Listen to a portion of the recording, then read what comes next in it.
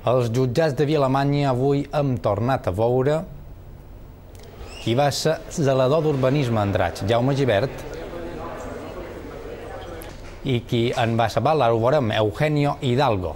Aquesta vegada tots dos han anat a declarar perquè quan estaven a l'Ajuntament en Ritxol varen participar en negocis de promoció immobiliària Hidalgo va votar a favor de donar llicències d'obra a solats seus i la Fiscalia recorda que aquest tipus de negociacions estan prohibides als funcionaris.